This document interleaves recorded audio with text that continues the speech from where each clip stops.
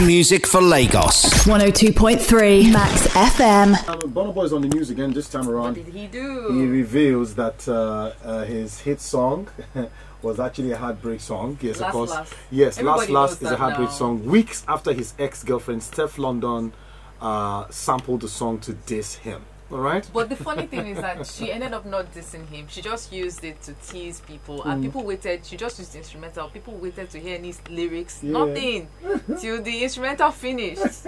Baby girl was just catching cruise with the whole thing. Hit music for Lagos. 102.3 Max FM.